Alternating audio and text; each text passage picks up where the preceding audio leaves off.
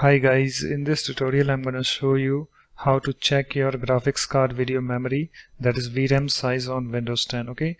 So guys I'm going to show you two methods by which you can easily find that. So let's do that via first method okay? So let me minimize this file okay guys? So you have to click on this search box and just do a search for settings okay?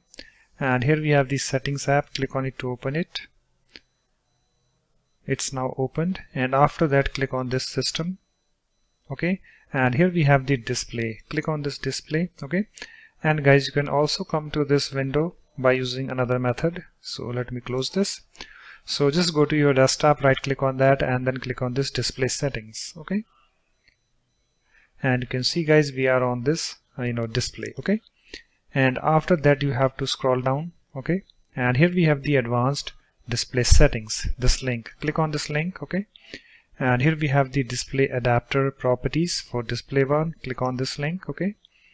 And here we have this window opened. And you can see here we have the total available graphics memory a dedicated video memory okay? So this is your VRAM so currently I have this you know 128 megabytes. You might have less or more okay? And other information like system video memory shared system memory okay? So this is done by using first method. Let's do that via second method okay?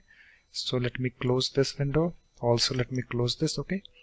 So in order to check you know your VRAM by using second method uh, you have to press Windows plus R key on your keyboard. So I'm pressing that. And here we have the run window opened. And after that you have to uh, type this uh, DX DIAG okay? Uh, that is DirectX diagnostic tool. So you have to type this command DX DIAG okay? And after that click on this OK button.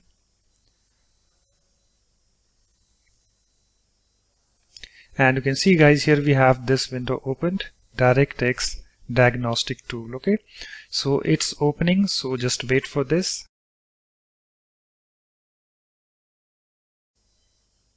okay so it's now fully loaded. And after that guys you have to click on this display. Okay. And here we have you know information like name manufacturer. Okay. And here we have approx total memory.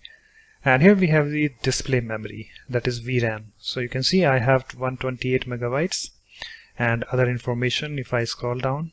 Okay. Like uh, shared memory current display mode. Okay guys so it's now done. After that you can close this window.